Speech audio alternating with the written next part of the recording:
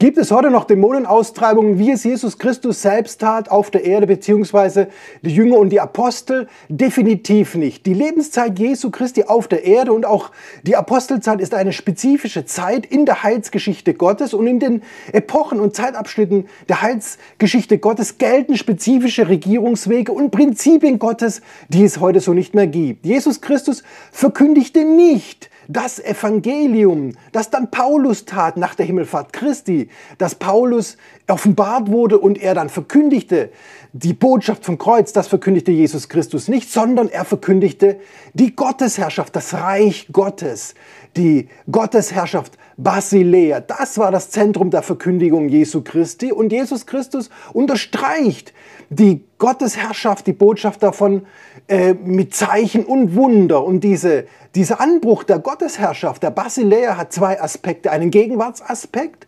Jesus Christus sagt, diese Gottesherrschaft, das Reich Gottes hat begonnen mit seiner Person, aber auch einen Zukünftigkeitsaspekt, dass die vollumfängliche Gottesherrschaft noch kommen wird in der Zukunft, letzten Endes im tausendjährigen Reich. Daher die Bitte, dein Reich komme.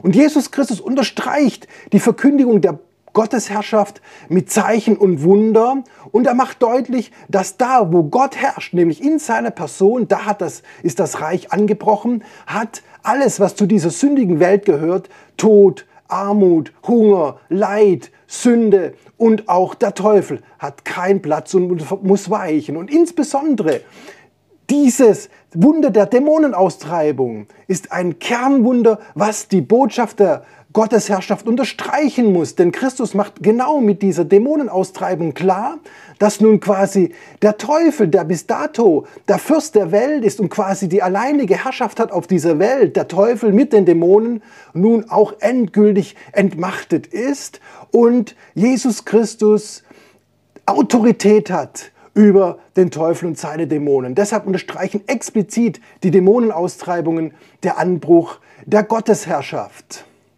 Und Jesus Christus überträgt den Jüngern und auch den Aposteln und einzelnen Menschen diese Autorität, die quasi den Anbruch der Gottesherrschaft mit verkündigen. Aber das ist ein spezifisches Merkmal dieser Zeit. Das gibt es heute nicht. Und Markus 16, Vers 16 ist eine Ankündigung der Apostelzeit, die auch diese Autorität hatten. Heute hat kein wiedergeborener Christ die Autorität über Dämonen, das gibt es definitiv nicht. Was es aber gibt, ist, dass wenn ein Mensch zum Glauben kommt an Jesus Christus, dass dieser befreit wird von Dämonen, falls er besessen war, und auch gerettet ist aus der Macht der Finsternis. Das ist biblisch und das passt zur heutigen Heilsepoche der Gnadenzeit.